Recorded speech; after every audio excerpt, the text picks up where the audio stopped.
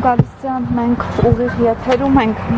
ձեր կարծիքով այս գործողությունները, մարդկանց ձերբակալությունները, նրանց տներում խուզարկություն իրականացնելը, հա,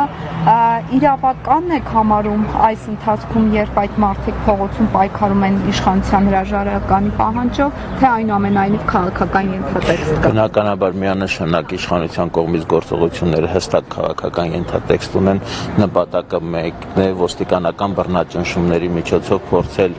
վախեցնել, կասեցնել դիմադրության շարժումը համազգային այս զարթոնքը, երբ որ ազգը համախմբվել է ընդդեմ ապիկար իշխանությունների,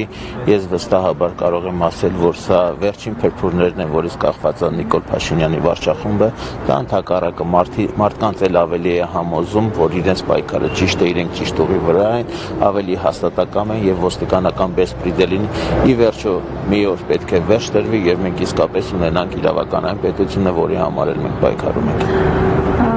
Պարոն Գալստյան, տեսեք, այս օրերին տարբեր կարծիքներ են հնչում փողոցային պայքարի հետ կապված, օրինական այսպիսի կարծիքներ, որ այդ փողոցային պայքարը դեպի մարում է գնում։ Արդյոք կա նման բան։ Համաձայն չեմ, ես այս պայքարում եմ ապրիլի 17-ից դեռ մեր թիմակիցներով, մեր կուսակցության ղեկավարի գլխավորությամբ եւ ամսի ապրիլի 17-ից, եթե ես հետը հայացեմ նա միանշանակ միայն մենք տեսնում ենք մարդկանց ել ավելի մեծ թափով պայքարին միացում, այդ բոլորը խիստ հարաբերական է կարող այդ պահին ընդամենը լինել 500 հոգի, 1000 հոգի, բայց դրանք ընդամենը ժամեր անց կարող են տասնյակ հազարների վերածվել։ Ես այդ պոտենցիալը տեսնում եմ։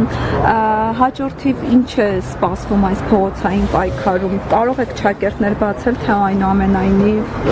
Ես այս պայքարի զինվորներից մեկն եմ։ Ես որպես անհատ, որպես հայ մարդ, որպես հավաքական թիմի ներկայացուցիչ հրապարակում եմ եւ օգտվելով առիթից կոչ եմ անում իմ համար գրացիներին, իմ հայրենակիցներին, սիրելի հայ հայեր, սիրելի հայրենակիցներ, այս պայքարը անznավորված չի, սա որից է կուսակցության, որից է քաղաքական ուժի պայքարը չէ, սա յուրաքանչյուրիս պայքարն է։ Մեզ հարկավոր է ընդամենը 100.000 քաղաքացի, որոնք ընդամենը 100 հեկտար տարածք են զբաղեցնելու, հասկանում եք, 100 հեկտար տարածք զբաղեցնող ժողովուրդը կարողանալու է ազատագրել հազարավոր հեկտարներ։ Սա է խնդիրը եւ ես վստահ եմ, որ այս պայքարը ինքը միանշանակ հաջողելու է։ Մենք մեր պատմության ընթացքում բազմաթիվ անգամներ այսպիսի փոս փոսերում հայտնվել ենք, բայց Աստված մեզ նրա համար չի ստեղծել, որ Նիկոլի նման մի դեգեներատը ազգի վերջնական շիրմաքարը դնի։ Չի լինելու այդպես։ Շնորհակալ եմ։ Շնորհակալություն ձեզ։